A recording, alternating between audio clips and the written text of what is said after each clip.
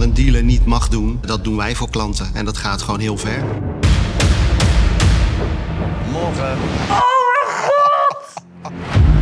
Wij zijn Absolute Motors. Wij maken de dikste auto's nog dikker.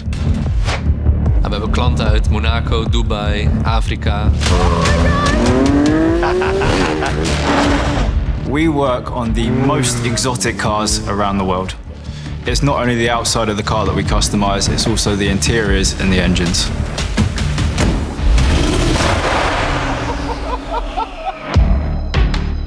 Ik heb nog nooit in de SVJ zelf gereden. Dus ik heb zelf ook geen testdrive kunnen doen voordat ik hem ging kopen. Wel elke review op het internet gelezen. Wat ik doe in de ring is natuurlijk heel gecontroleerd. Op het moment dat ik die opening zie, kan ik gas geven. Weet je, ik heb hem niet gekocht om er naar te kijken. Ik heb hem gekocht om ermee te rijden, om ervan te genieten. Jouw grappie! Is wel een gekke racemagneet dit, hè?